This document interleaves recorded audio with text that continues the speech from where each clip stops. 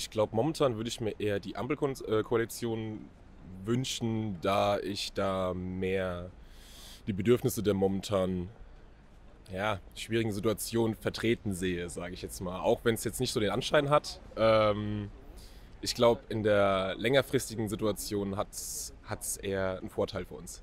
Die Ampelkoalition wünsche ich mir eher, weil ich die Jamaika-Koalition mit der CDU und den Grünen, äh, ich glaube, das wird nicht gehen.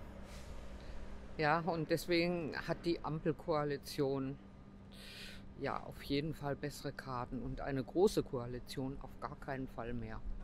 Ich würde mir lieber die Ampel als die Jamaika-Koalition wünschen, weil ich finde, dass die SPD und Olaf Scholz an die Spitze gehört.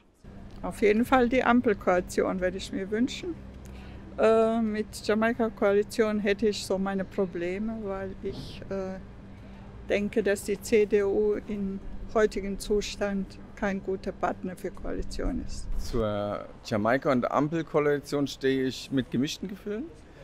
Ähm, ich sage mal, das Problem ist immer vor der Wahl und nach der Wahl. Die Versprechen werden meistens nicht so eingehalten, wie sie ähm, vorher versprochen werden.